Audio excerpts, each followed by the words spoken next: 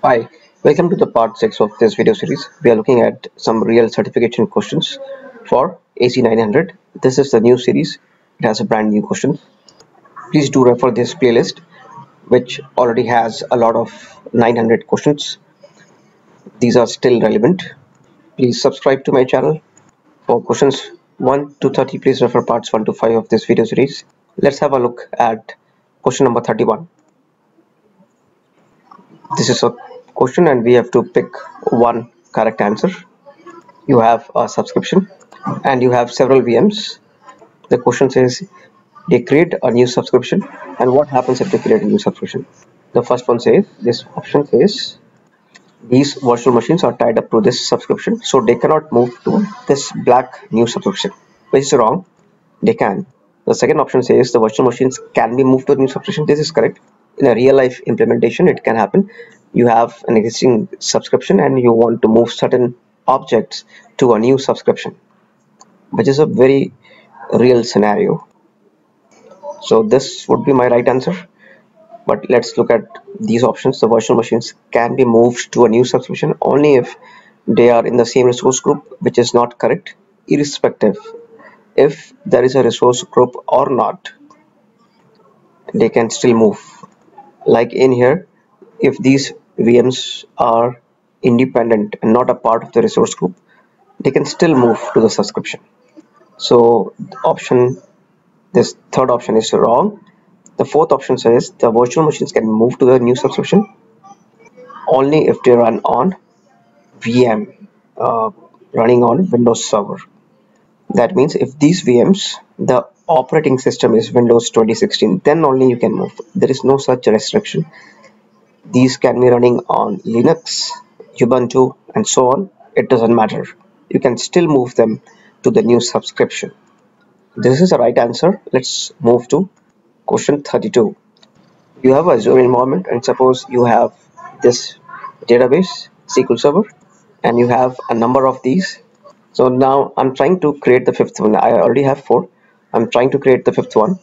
But I get a message. I get this message increase your subscription limits. Now the question says what should you do to increase the limit? So think about it. What can be done to increase the limit? So we should apply a thumb rule. This thumb rule says create support requests to increase the subscription limits. So this is my answer. So I will show you a part of a documentation it clearly says if you want to raise the limit or quota above the default limit open an online customer request at no charge. See service health alerts. Why do we use? Think about it. Suppose you have databases and the database is one of the database is not running fine. So you use a health alert system to understand the health of the database. This can also be a VM instance. You can still use health alerts but health alerts cannot be used to increase the subscription limits. So option A is wrong. Option B suggests to use support plan upgrade. So these are your support plans and upgrading these will not help you with increasing the subscription limits. If you look at option C modifying an Azure policy see policy is a compliance solution if you have a compliance issue see we know that these two types of VM instance is very expensive. So a company can decide the leaders in the company can sit together and decide that these two instance types cannot be used when creating a VM so we can create a policy which will avoid creating these instance types because these are very expensive and used for a specific purpose. So what does the thumb rule around policies suggest? The thumb rule suggests that for compliance adherence, use Azure policies. So in our case, use case, we do not have a compliance issue. Hence our answer is correct. Let's move forward. Question 33. There are three questions.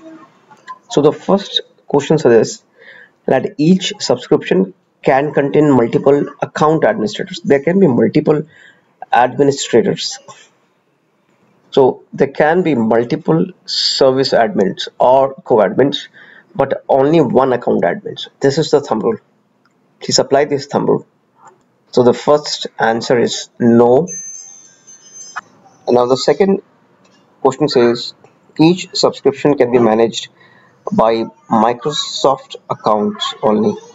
So we have a thumb rule. The thumb rule suggests that subscriptions can be managed by AD accounts that is active directory accounts not Microsoft accounts.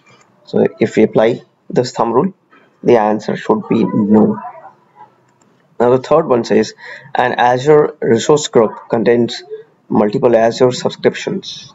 So if you see this hierarchy the management group is at the top then we have subscriptions. So a management group can have multiple subscriptions beneath it and subscriptions can have multiple resource groups beneath it. So this question which says an Azure resource group contains multiple subscriptions that is this resource group can contain multiple subscriptions. Child cannot have multiple parents or child cannot give birth to parents. Parents give birth to child. Agree, right? So if you use that principle, then the answer for the third one is no as well. So we will lock this answer. Please subscribe to my channel. I hope the concepts are making sense. Think about the concepts being explained here. Try to understand the thumb rules and you will successfully pass the exam. This brings us to the end of part 6. See you in the next part.